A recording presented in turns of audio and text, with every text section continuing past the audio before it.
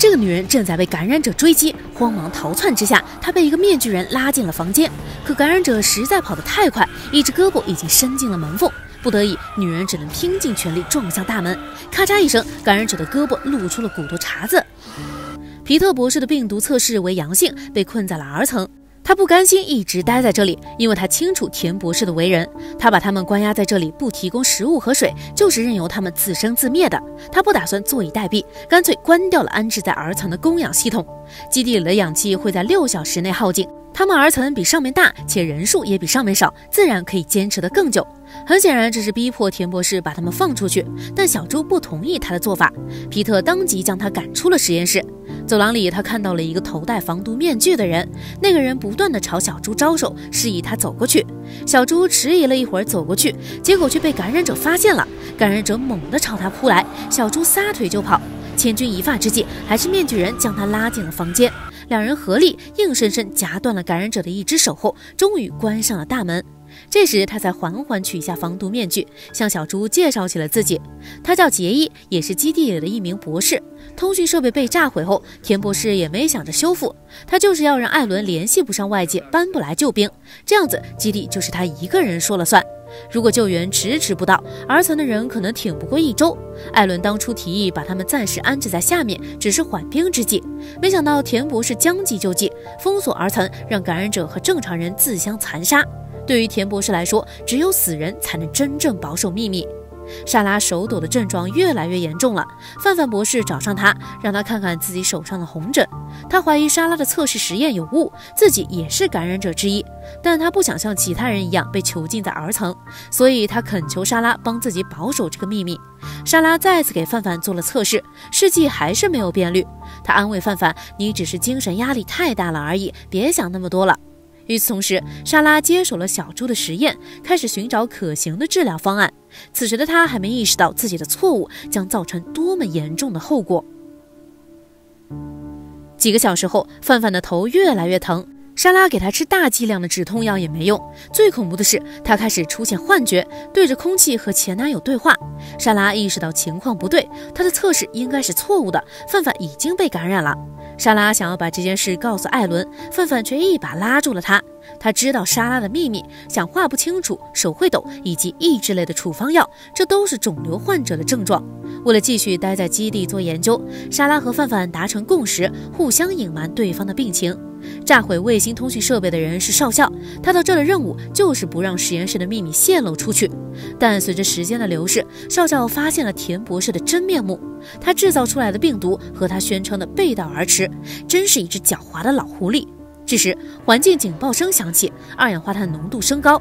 田博士意识到有人关闭了过滤器，如果不尽快重新打开机器，他们两小时后就会出现二氧化碳中毒症状。少校提议带着人下去和他们拼了。田博士却坚持自己和保安队长下去就行，他多的是办法对付他们。少校知道局势快要失控了，于是乎他把自己的秘密告诉了丽丽。原来他是五角大厦特别调查部门派来基地调查一项秘密研究活动的。他们部门之所以协助田博士研发苏卓，是想把苏卓当成秘密武器对付敌人。为此，他们特地找了一个隐秘的基地供田博士研究，让他不受任何政府控管。但是现在，少校感觉田博士的研究会害死所有人，因为他听说了他们用病毒转移基因的事。丽丽听后，立马重新对病毒做基因排序。她发现病毒是人为设计的，根本不是大自然的产物。彼得被艾伦救走后，情况一直不容乐观，他的各个器官开始衰竭，离死不远了。艾伦为了救他的命，铤而走险，让杜象给彼得注射苏卓。如果这次还不能成功，那就只能认命了。苏卓注射进血管后，彼得情况立刻好转了，他可以自主呼吸了，病情也逐渐稳定下来。莎拉找到艾伦，他还是决定把测试失败的事告诉他。艾伦并没有责怪莎拉，既然事情发生了，那就想办法去解决。他让莎拉去通知田博士，然后开启 R 层重新检验全基地人员。彼得终于醒了过来，他的情绪终于平静下来，不再像刚才那般狂躁。艾伦迫不及待地问他关于基地和实验的事情，没想到彼得全都闭口不提，一直在答非所问地说他们去世的老爸。没多久，又开始陷入迷糊状态。很显然，苏卓的药效正在消散，病毒又开始席卷重来。但杜象给彼得注射的已经是最大剂量了，继续注射只会导致他出现抗病毒剂中毒。最后时刻，彼得告诉艾伦，他不是最优秀的科学家。田博士之所以选择他到基地工作，都是因为小猪。他来到基地也是因为小猪，因为他和小猪背地里有一腿，而小猪之前又是艾伦的前妻。他绿了艾伦后就没脸再见他了，便孤身一人来到北极搞科研。我的天，这是多么神仙的人物关系啊！说完，彼得就受病毒的影响变成了植物人，可能一辈子都醒不过来了。小猪和杰伊徘徊在儿层外。一边面临着被感染者发现的危险，一边寻找着食物。幸好杰伊熟悉地形，在他的带领下找到了吃的。这时，他们发现墙面上有字体，J L W，这是小猪名字的缩写。很快，小猪就认出这是自己的笔记。难道自己之前就来过这里？为什么他全然不记得了呢？环境警报再次响起，氧气已经达到了人类生存的临界浓度。田博士带着保安队长来到 R 层和皮特谈判。他告诉皮特不要冲动，关闭制氧机，大家都会死。与他们合作的话，大家都能活。在田博士的嘴炮攻击下，皮特终究还是上了当，重新启动制氧机。没想到田博士转身就掏出保安队长身上的枪，杀死了他和他的同伙，眼睛都没眨一下。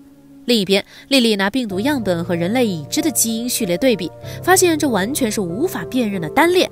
设计这个病毒的人想让感染者从内而外的改变，把人类变成一只只知道攻击的野兽。少校听完后，默默拿起一旁的针筒扎向丽丽，将她置之于死地。紧接着，再推翻一旁的货架，压在她身上。盒子里的老鼠全都跑了出来，在丽丽身上上蹿下跳。很显然，这是丽丽知道的太多了。本集最后，断手的带菌感染者和田博士狭路相逢后，却没有攻击他，反而乖乖的给他让路。难道田博士有控制带菌感染者的能力不成？还是他是高阶感染者，能控制自己什么时候发病，也能控制低阶的感染者？欲知后事如何，敬请期待下一集。